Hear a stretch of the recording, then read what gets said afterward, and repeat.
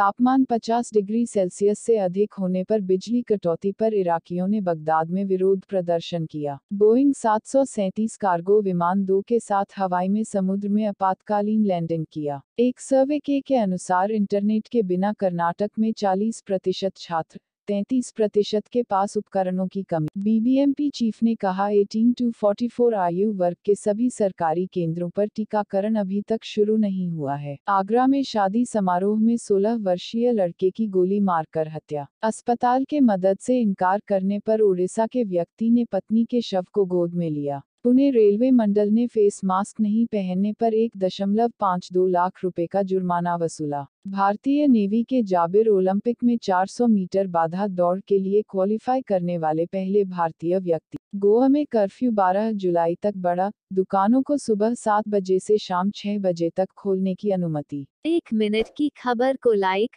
Share और subscribe करें।